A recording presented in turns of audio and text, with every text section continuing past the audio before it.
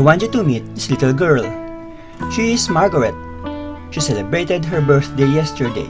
Her mother bought her a cake. Let us find out what part of the whole cake did she give to her sister. She had three-fifths of the cake.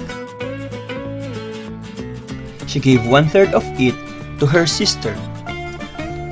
What part of the whole cake did Margaret give to her sister? Our lesson for today is visualize multiplication of fractions using model. What part of the whole cake did Margaret give to her sister?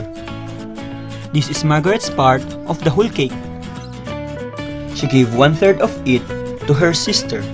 We are looking for the one-third of 3 fifths. So we are going to multiply the two fractions. Let us combine one-third and 3 fifths. This overlapping area is the one-third of 3 fifths. What part of the whole does this area represent? Let us count.